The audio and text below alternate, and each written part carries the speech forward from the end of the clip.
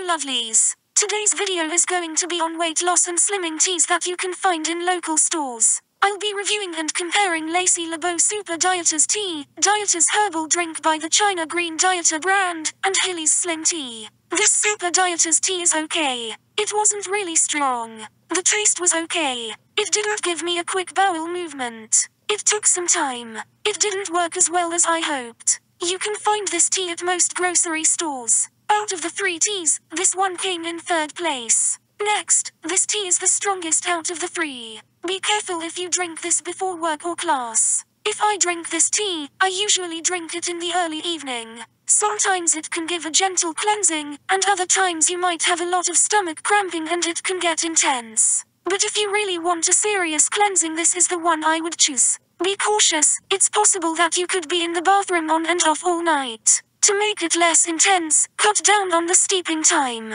I don't drink this every day, and I wouldn't recommend drinking this tea more than a week straight if you're going to drink it daily. I'm sure this tea will help you drop a couple pounds if you do. I purchased this tea at Amazon, but it's usually available at health stores as well. Lastly, we have Slim Tea. This tea is the best for a gentle bowel. It's not intense, well at least it wasn't for me. It usually worked 4 to 5 hours later. The taste was decent and it did its job. I only use this when I need a slight extra push. I bought this tea on Amazon, but I have purchased this tea before at Ross. They usually have a lot of them. All of these teas are affordable. They all are under $10, more around the $5 mark. I'm sure if taken consistently it will help aid in weight loss, especially the one in the green box, but I would take it easy. Have you ever used any of these products? Let me know how well they worked for you in the comment section below. Thanks for watching my lovelies, and please don't forget to subscribe.